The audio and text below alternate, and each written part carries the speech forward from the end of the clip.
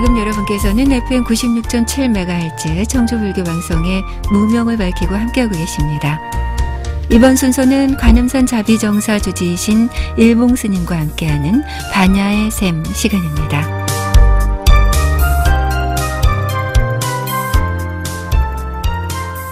안녕하세요. 어, 관음산 자비정사 석일봉입니다. 우리는 거의 대부분들 완벽한 삶, 또 훌륭한 삶, 음, 최고의 삶을 추구하는 경우가 상당히 많지요. 그러나 지나치게 깨끗한 물에는 물고기가 살기 어렵듯이요. 완벽한 사람, 또 최고의 사람에게는 어떤 동지나 그 뜻을 옹호하는 사람들보다는 어, 적이 많다라고 하네요. 어찌 보면 우리가 흔히 말하는 어, 조금 부족한 사람들, 이러한 사람들이 오랜 세월 동안 사랑을 받고요. 또 그러한 사랑을 받는 이유들은 대부분 우리 사람들이 음, 자기보다 잘난 사람보다는 오히려 조금 모자라는 오히려 자기보다 부족한 사람에게 더 호감을 갖기 때문이다라고 하지요.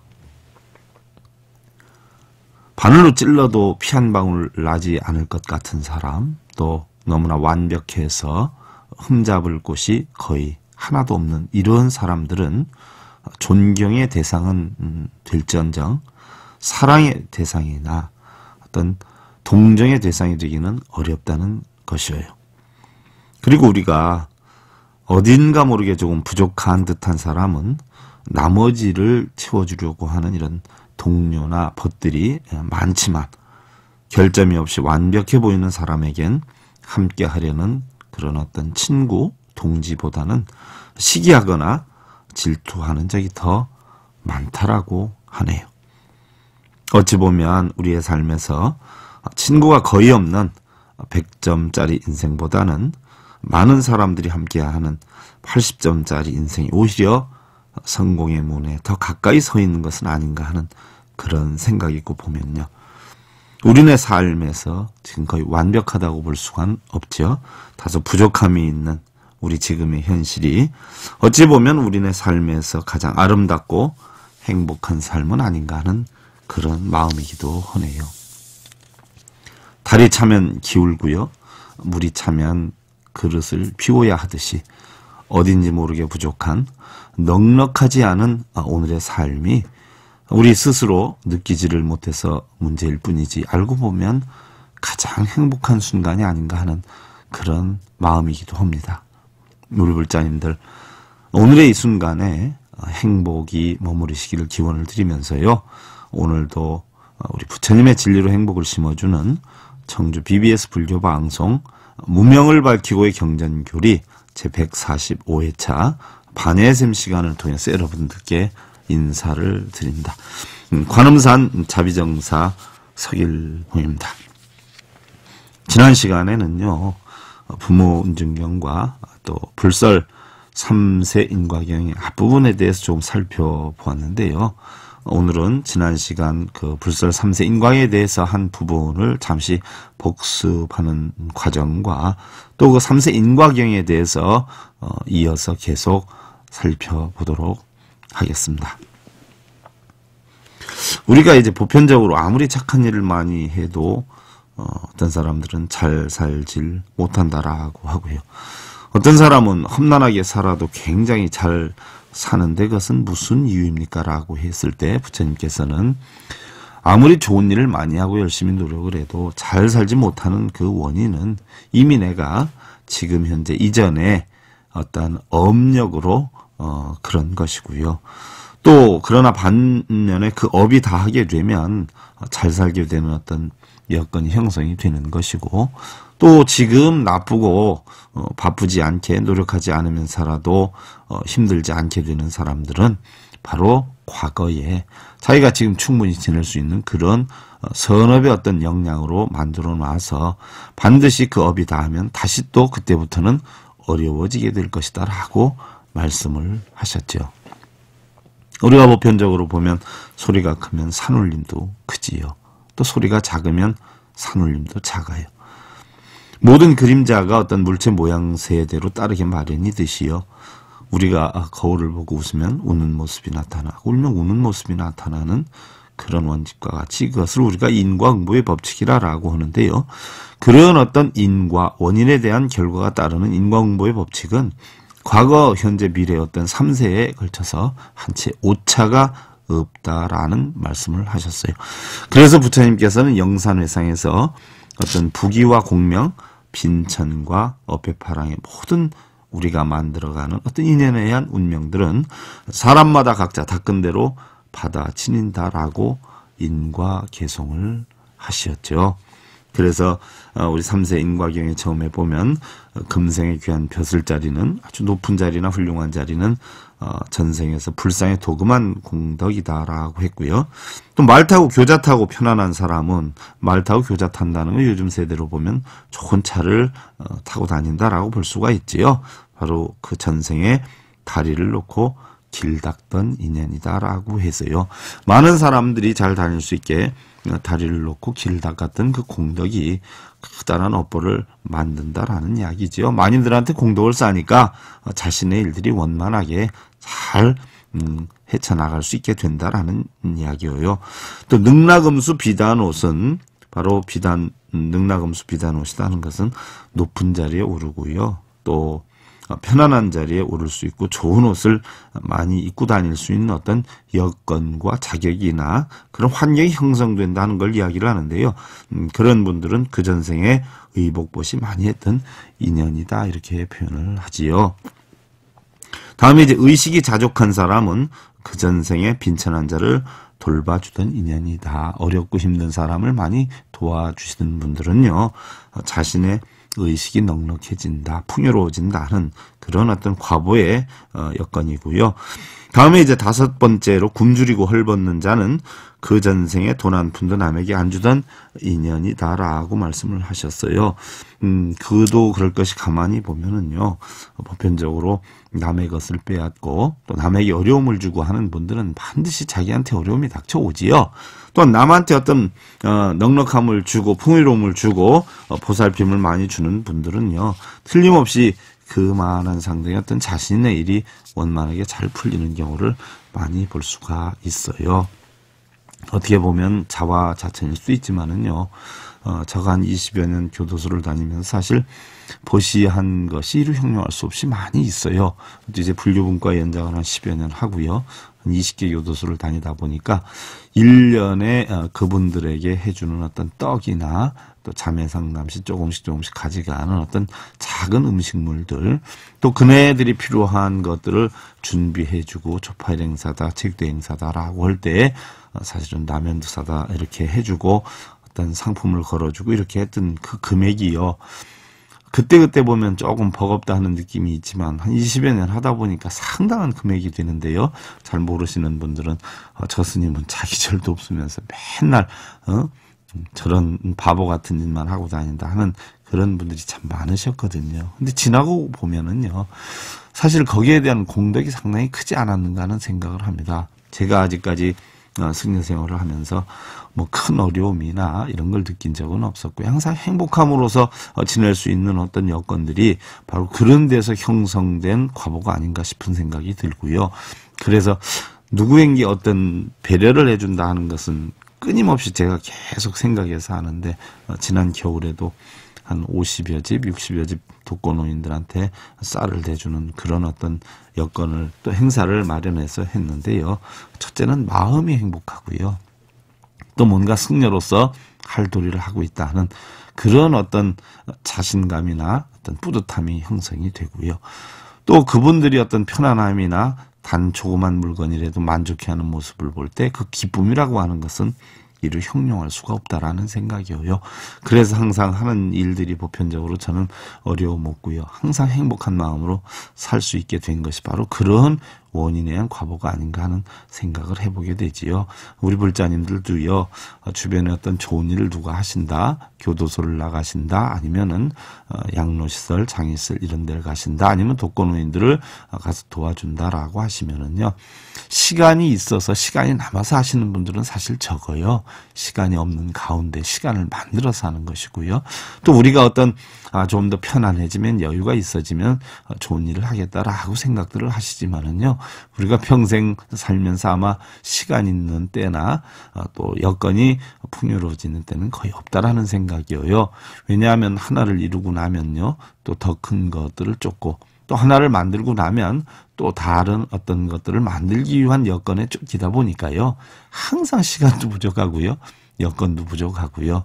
이런 삶을 살기에 마련이에요. 예를 들어서 우리가 한 15평짜리 아파트에 살다가 너무 처음엔 흡족함을 느끼다가 살다 보면 어때요? 22평, 뭐 21평, 30평 이렇게 늘려가려고 하는 그런 입장을 갖다 보면은요. 항상 부족함을 느끼지요. 현재 삶에 만족하기가 쉽지 않다는 이야기예요. 그러니까 틈틈이 시간을 내고 여건을 만들어서 움직여진다라고 하면 여러분들 전체 마음도 편안하시고요. 또 거기에 따르는 과보도 상당할 것이다 하는 그런 생각이기도 합니다. 그럼 여섯 번째로 이제 고대왕실 큰 집들은 그 전생에 높은 산의 암자나 절에 시주하던 공덕이다. 절 짓는데 또꼭 절이 아니래도 그렇지요. 다른 분들 어떤 집 짓는데 아니면 다른 분들 좋은 일 하시는 데에 조금이라도 보탬이 되면 그만큼 자기한테 큰 여건이 돌아올 수 있는 어떤 과보가 형성이 된다는 그런 뜻이 되겠고요. 다음 일곱 번째로 복록이 진진한 사람은 그 전생에 절짓고 정자 짓던 인연이니라라고 해서요. 복록이 진진하다. 그 전생에 절을 짓기도 하지만은요, 정자를 지어서 많은 분들이 쉴 수 있게 하고 편안함을 얻을 수 있게 하니까 그만큼 편안함이 온다라는 그런 과보의 이야기고요. 그 다음 이제 여덟 번째로 절세가 잘생긴 사람은 그 전생에 부처님께 꽃공양을 올린 공덕이다라고 했어요. 우리 육법 공양 가운데서 꽃공양의 공덕은요, 그만큼 마음이 아름다워진다라고 하는데요. 마음이 아름다운 사람들이 사실 꽃 공양을 올릴 수 있는 것이요. 그 아름다움 속에서 사는 사람들은 항상 마음이 아름답지요. 일례를 하나 들어보면 어때요? 우리가 학교에서 강의를 하는 그런 선생님들을 배워도요.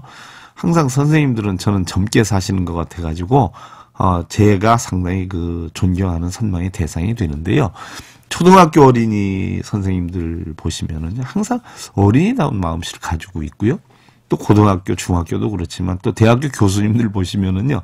생각 자체가 대학생들의 어떤 역량에 그 젊음이 어, 넘쳐나는 것 같아요. 거기에 항상 머물러서 아주 젊고 아름답게 사시는 그런 마음을 제가 종종 느낄 수 있는데요. 우리가 꽃공양을 올린다라고 하는 자체도 어때요? 마음이 이쁘고 아름답고 또 그 아름다움을 원하는 분들이 꽃공양을 올릴 수 있으니까 당연히 항상 어때요? 우리가 태교를 해도 이쁜 음악 듣고 좋은 음악 듣고 아름다운 걸 자꾸 봐라라고 하는 것처럼요. 아름다운 꽃을 자꾸 올릴 수 있는 마음을 지닌 사람들은요. 자연히 아름다운 마음씨를 지니게 되고요. 아름다운 마음씨를 지니게 되면 우리가 관상도 심상에 따라 바뀐다라고 하듯이요. 어, 관상도 아주 이쁘게 이쁘게 변해갈 수 있다라는 이야기예요. 어찌 보면 여러분들 조금 뭐 내가 부족하다 어디가 이상하다 해가지고 사실은 요즘 병원 가서 많이 이렇게 고치는 분들 많은데요.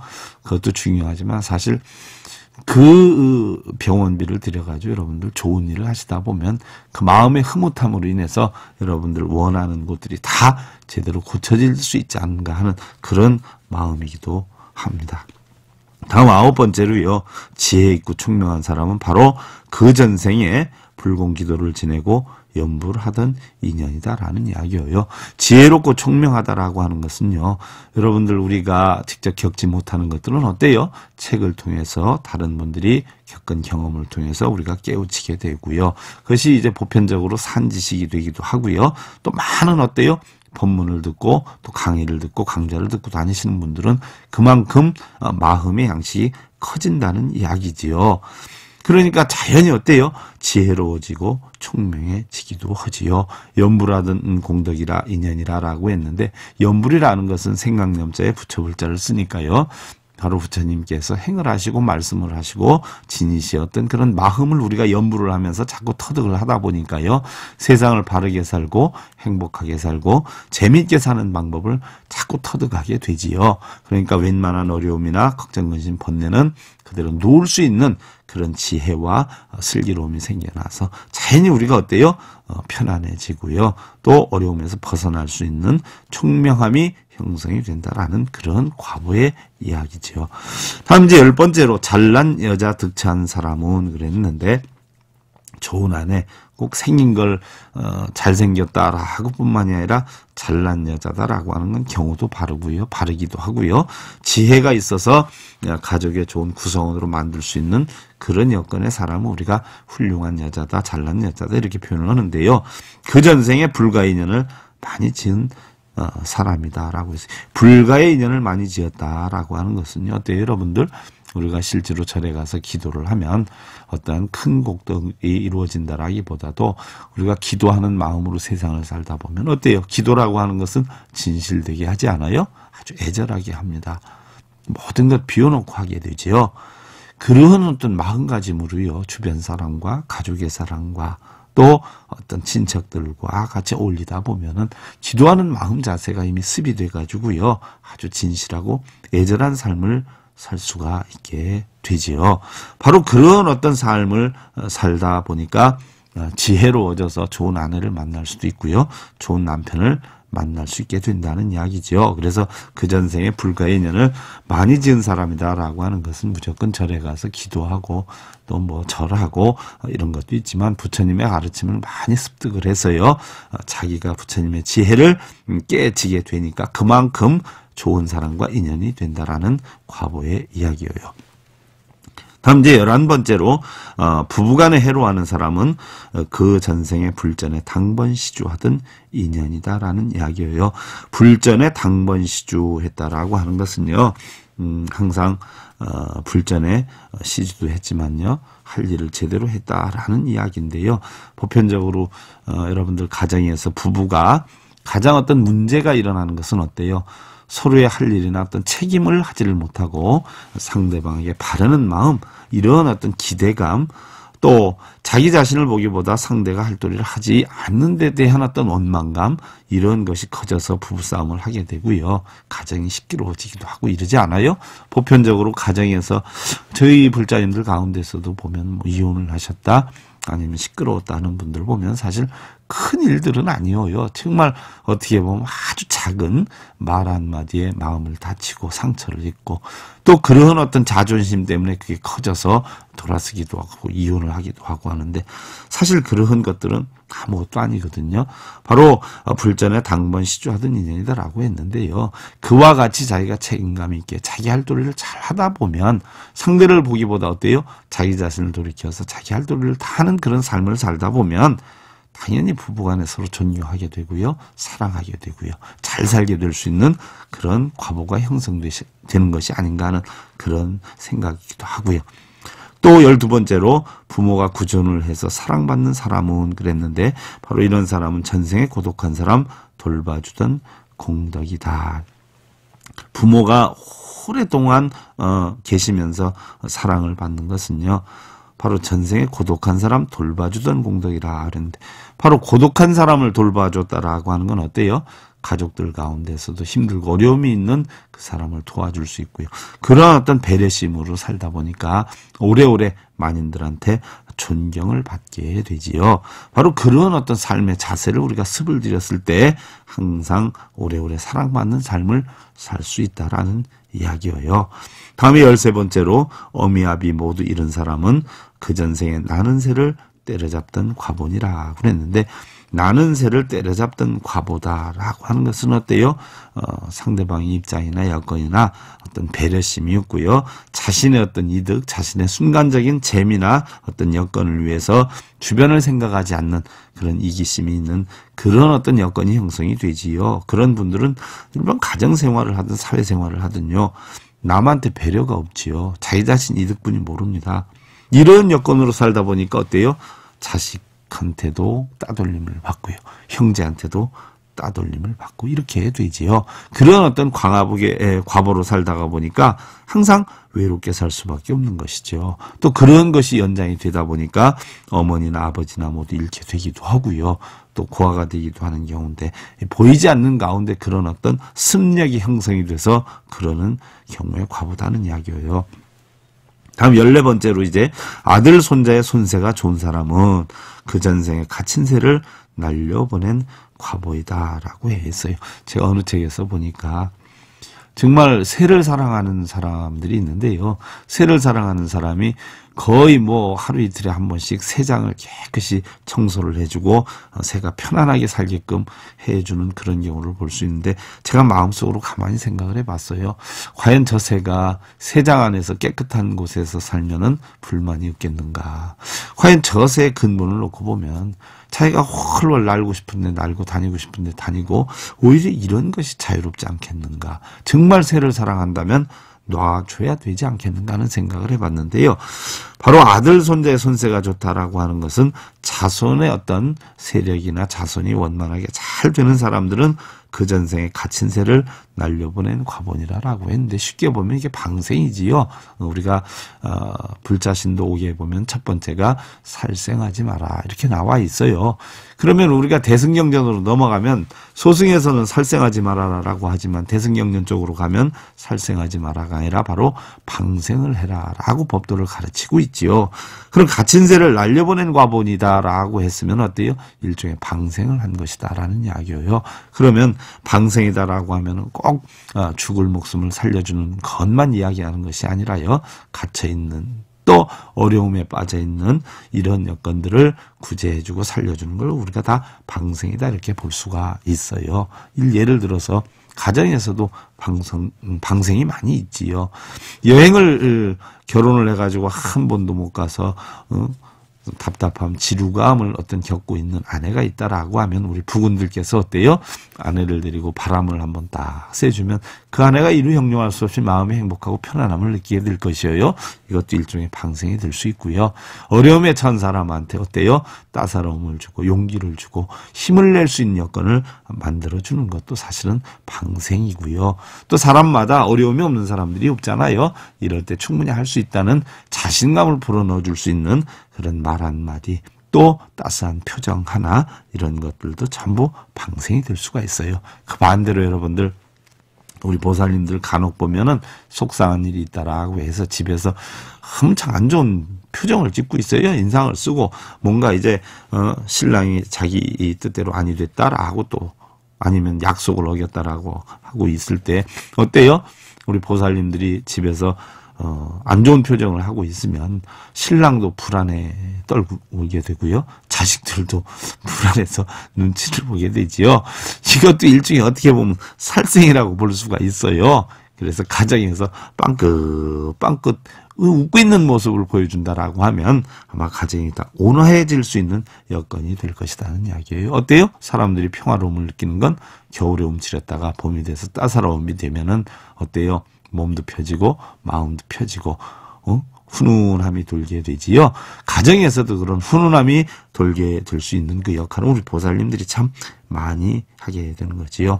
바로 갇힌 새를 날려 보내듯이 마음이 얽혀매 있는 분들의 마음을 풀어주는 것도 큰 방생에 해당이 되는 것이니까요. 이렇게 됐을 때 어때요? 자손도 다 잘 될 수 있다는 이야기죠. 다음 열다섯 번째로 어, 생자 양자 모두 없는 사람은 그 전생에 여자에게만 종신하던 사람이라 그랬어요. 이게 무슨 얘기냐면요. 부모도 있고 형제도 있고 친척도 있고 가족들도 다 있지 않아요? 근데 부모 형제 다 나몰라라고 여자에게만 여자 말만 따르고 하는 이런 사람들은 나중에는 어떻게 돼요? 부모 형제가 없어도 되니까 결국은 친자식이든 양자식이든 자손이 없 있게 된다는 그런 이야기예요. 또 열여섯 번째로 이 세상에 자식이 없는 사람은 그 전생에 화초꽃을 함부로 꺾던 인연이다. 그러죠? 이쁘고 아름답게 자라나는 것을 함부로 꺾는 그런 인연이 되다 보면 자기의 역량도 힘들어진다는 이야기예요. 간혹 제가 보면 어, 참 주수에서 보면 어려운 상황, 힘든 상황 많이 나오는데요. 그 청소년들 대상으로 해서 범죄도 하고 유흥업소에서 뭐 엉터리 일도 하고 그러는데 사실 그런 분들은 자기 자식들이 그렇게 되기를 원하진 않을 거란 말이죠. 우리가 뭔가 넓은 세상에서 바라보면 정말 경우에 없는 또 도리에 어긋나는 이런 일들은 안 했으면 하는 그런 바램입니다. 다음 열일곱 번째로 이 세상에 수명장수하는 사람은 그 전생에 산 목숨 사들여서 방생하던 사람이라 그러죠. 남의 목숨을 연장을 시켜주니까 당연히 그 과보로 자기의 목숨이 연장이 될 수 있다는 이야기지요. 반대로 이 세상에 단명하는 사람은 그 전생의 권세를 필때 살생한 과본이라 이렇게 표현을 했어요. 그러죠. 남의 생명을 자꾸 앗다가 보면은 어때요? 자기 생명도 그만큼 단축이 되고 어려움을 만들 수가 있다는 얘기예요. 세상에 이치라는 것은요, 인과법에 서 이루어지는데, 인과라고 하는 것은 주는 대로 받는 것 아니에요. 내가 사랑을 받고 싶으면 사랑을 주고요. 존경을 받고 싶으면 존경을 주고요. 또 어떤 분들은 스님 애기들을 어떻게 교육을 시켜야 됩니까? 라고 말씀하시는 분들이 있는데요. 교육이라는 것은 꼭 말로만 시키는 건 아니라고 봐요. 어떤 말 한마디를 하네도 그 부모가 얼마만큼 열심히 최선을 다해서 사는가의 모습을 보여준다라고 하면 자식도 최선을 다하며 살수 있는 모습을 배우는 것이 아닌가 싶은 생각이고요. 우리 불자님들 어때요? 어, 하루해가 저물어 갈 때 저녁 연기와 어떤 노을이 굉장히 아름답지 않아요? 우리네 삶도 인생의 황혼기가 더욱 아름답다 하는 그런 생각이기도 하고요. 우리는 흔히 권세와 명예, 부귀영화를 가까이 하지 않는 사람을 청렴결백하다 이렇게 표현을 하는데요. 정말 청렴결백한 사람은 그런데 가까이 하면서도 거기에 물들지 않는 사람이 청렴하다 볼 수가 있어요. 또한 권모술수를 모르는 사람보단 어때요? 권모술수를 알면서도 쓰지 않는 사람이야말로 정말 인격자가 아닌가 하는 생각이기도 하지요. 우리가 세상을 살아가는 동안에 언제나 성공만을 따르기를 바라지 말고요. 남에게 베품을 나눌 때 상대방이 또한 그 은덕에 감동하기를 바라지 말고요. 여러분들 될 수 있는 대로 남이 나에게 베푸는 은 있지 않고요. 혹여 남에게 원망이 있다면 하루빨리 있는 것이 좋다는 생각이에요. 걸음이 많은 땅에서 초목이 잘 자라지 않아요? 그러고 보면 우리네들도 떼묻고 더러운 것도 용납하는 그런 아량도 키우고요. 우리를 괴롭히거나 어떤 분한 마음을 갖게 한 사람이라도 이해할 수 있는 덕목을 쌓고요. 또 오히려 다른 이들의 마음속에 기쁨과 행복을 담아줄 수만 있다면 우리네 삶은 결코 헛되지는 않을 것이라는 그런 생각이에요. 우리 불자님들 시간이 흐름과 함께 날마다 행복한 날들 만드시기를 기원을 드리면서요. 혹여 궁금하신 점이나 좋은 의견이 있으시면 청주 BBS 불교방송국이나 다음 카페 서길봉의 불교세계 남겨주시면요. 본승에 집필한 도서 가운데 한 권을 선정을 선물로 보내드리겠습니다.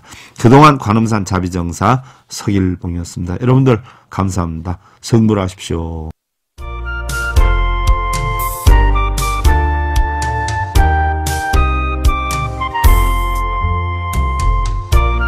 지금까지 관음산 자비정사 조지이신 일봉스님의 반야의 샘 함께 하셨습니다.